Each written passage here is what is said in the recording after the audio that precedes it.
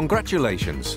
If this is your first time using an FPGA-based SD series console, you are about to experience a wealth of flexibility and audio quality. This video-based Getting Started guide is designed as a simple introduction to the SD series. We hope it makes you want to delve deeper into this online program and the console itself. This introduction is broken down into the following sections. 1. Rack I.O. 2. Work surface orientation. 3. Basic work surface connections. 4. Session structure and configuration. 5. Suggested user options. 6. Basic channel control. 7. Basic output control. And 8. Dual solo buses.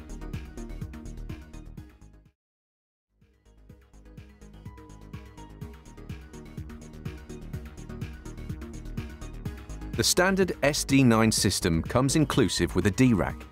This rack frame can be used as a stage floor rack or fitted with optional 19-inch rack ears and rack mounted. The D-rack provides 32 mic or line inputs from stage and can have up to 16 outputs in the following formats.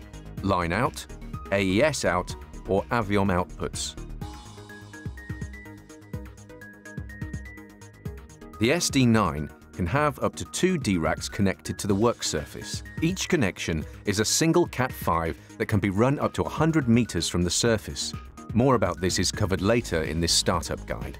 It is also possible to connect standard MADI-based DiGiCo rack frames to the surface on the provided single MADI connection. Alternatively, this can be used for recording. Please see Basic Connection section of this video for details on this option.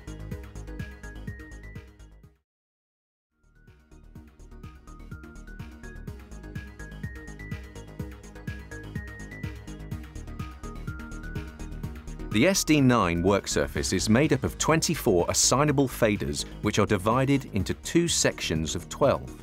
Either side of the fader trays are fader bank assign buttons. The left-hand side buttons control the first 12 faders and the right-hand bank buttons control the second 12 faders. These are clearly indicated as two blocks of 12. The fader bank buttons quickly assign the faders in blocks of 12 making it possible for the user to swiftly move between all the channel and output faders. Each bank has its own dedicated LCD scribble strip that displays information about the faders currently assigned to each bank.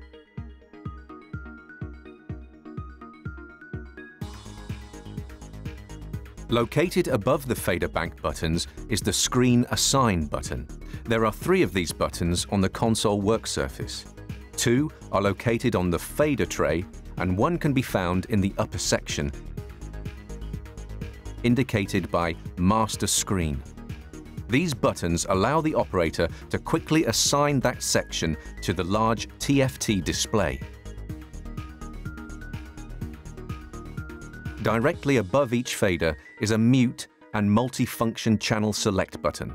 Don't panic though, as in normal mode, this button is always defaulted as the fader solo button. You'll notice there is an LCD function button. This button provides access to the other features of the channel select buttons, and these are explained in more detail later in this video. The LCD scribble strip display provides clear indication of the channel each fader is controlling. Directly above the LCD is a dedicated multi-segment LED meter. Moving to the upper panel, you will notice a large TFT touchscreen. This screen allows accurate feedback of the input channels, output channels, and master section functions.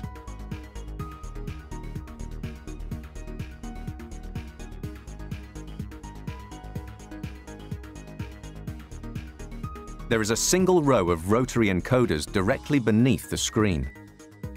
They can be assigned by touching the screen or by using the conveniently placed Quick Select buttons on the left-hand side of the screen. These buttons quickly assign the desired parameter to the encoders and buttons.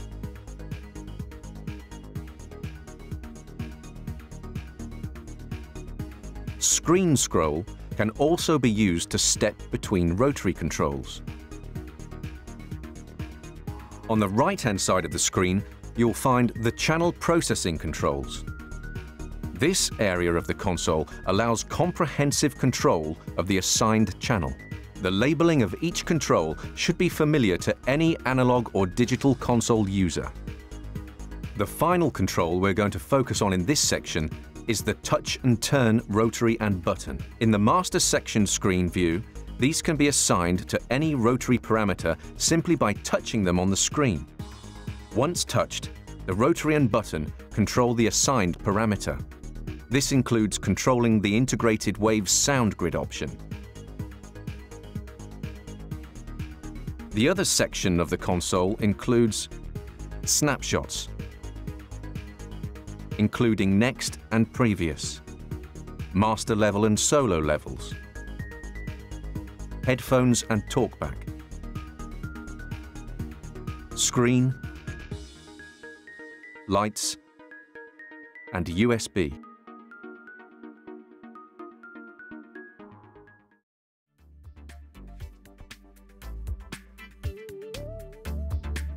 The SD9 can be specified with either single or dual PSUs.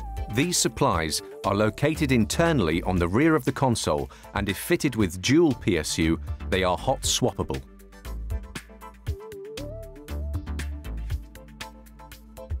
The local I.O. connections on the SD9 are found on the back panel and are clearly labelled. Mic line 1 to 8 line output 1 to 8. Stereo AES inputs 1 and 2, stereo AES outputs 1 and 2. There are also connections for two D-racks. As you look at the rear panel, the right-hand connection is D-rack 1 and the left-hand connection is D-rack 2.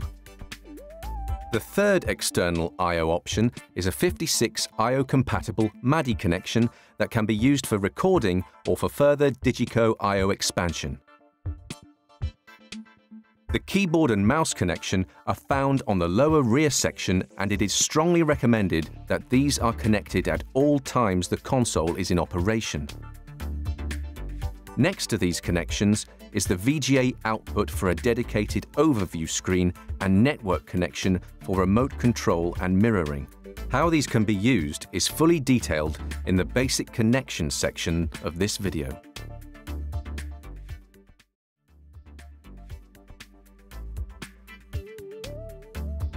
We have covered the basics, so let's get started. Make sure you have the desired D-racks and keyboard connected to the console before you begin. Follow this explanation along with the on-screen guide.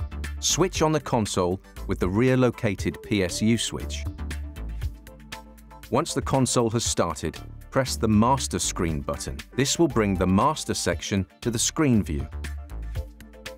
On the master screen view, you will see a top row of buttons. Using the touchscreen, press the File button. This will expand down the screen with several options including loading and saving sessions. If you don't have a session to load, then please press Session Structure. This is where you can configure the busing structure of the console to meet your requirement.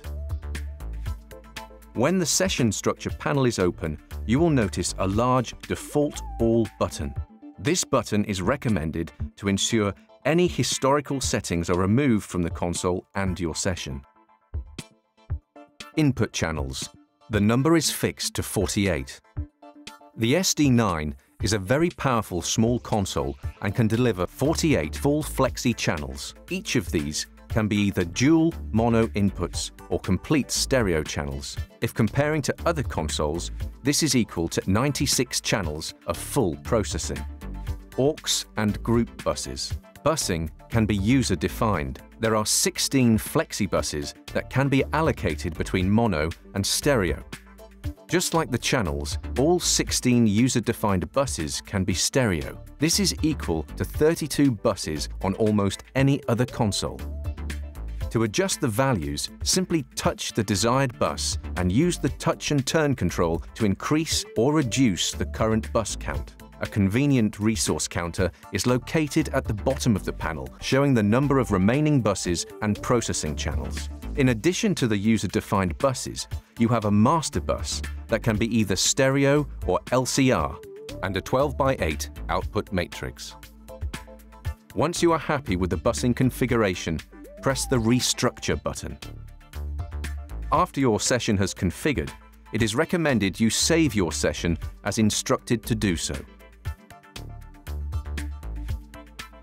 The operation of the SD9 can be customized to suit your preference or the type of job it is being used for. The master screen section of the video explains more on the options and settings, but in the meantime, here's a short list of suggested options to set. On the Surface tab, enable Auto Cancel Second function. Also on the Surface tab, switch on Bank Switch Assign screen. On the Solos tab, both Solo assigns aux to faders and Solo assigns channel should be switched on. And finally, enable status indicators and system alerts in the Status tab.